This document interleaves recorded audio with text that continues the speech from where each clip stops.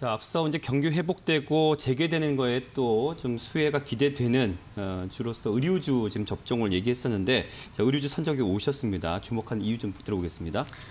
일단은 지금 상황에서 수급이 제한적인 상황에서 기관 투자자들이 매수를 하고 있는 종목들을 매매를 하는 것이 좀 편한 매매 방법이지 않을까라고 생각을 했고요. 네. 기관 투자자들이 사들이고 있는 종목군들을 보면 뭐 엔터주, 앞서서 말씀드렸던 네. 여행주, 항공주, 그 안에 또 의류주가 또 포함이 되어 있습니다. 네. 의류주 같은 경우에는 글로벌 경기 회복에 따라서 또 북미권에서 우리 시장에 어, OEM, ODM 방식으로 그 생산을 하는 기업들의 또 어, 많은 발주를 해주고 있었던 그런 상황이었어요. 연초부터. 네. 네. 그래서 이제 1분기 실적이 또 개선이 됐던 그 종목들도 많이 나타나고 있었던 상황이었고요.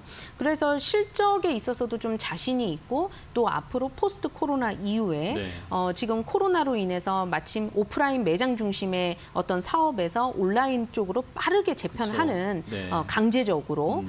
어, 온라인 플랫폼 쪽으로 또 재편이 빠르게 됐던 상황에서 어떻게 보면 좀 효율적이지 않을까. 그러한 부분들이 2분기, 3분기 실적에 있어서도 조금 긍정적인 어, 그런 분위기를 형성을 할 수 있겠다라는 관점에서 의류주를 선택을 해봤습니다. 네.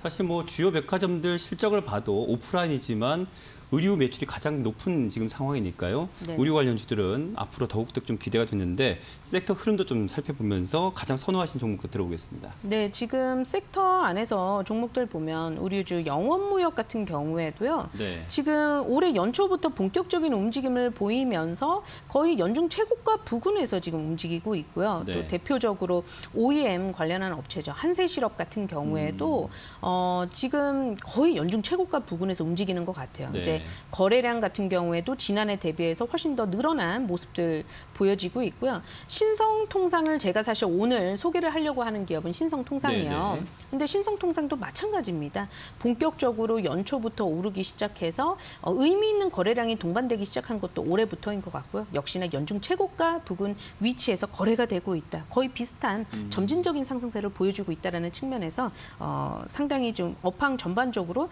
긍정적인 추세 형성하고 있다. 이렇게 좀 볼 수 있겠습니다. 자, 그러면 매매 전략 좀 들어볼까요? 신성통상? 네. 예, 신성통상 같은 경우에는 니트 의류 전문 OEM 수출을 하는 기업이고요. 이제 네. 미국 쪽에 대형 바이어들 쪽으로 납품을 하고 있는데 월마트, 뭐 올드네이비, 타겟 음. 이쪽으로 그 납품을 하고 있어요. 그런데 북미 쪽에서 최근에 그 경기 회복에 포커스를 맞춰놓고 일종의 그 의류나 이런 것들을 소비재 관련한 품목들을 막 사들이기 시작했거든요. 그걸로 인해서 호황을 누리고 있는 그런 상황입니다. 또 탑텐이라든지 유니온베이와 같은 자체 브랜드도 보유를 하고 있고 탑텐 같은 경우에는 지난해에 일본의 유니클로 불매 운동이 펼쳐졌을 때 네. 관련 수혜주로 거론이 됐던 측면이 있어요.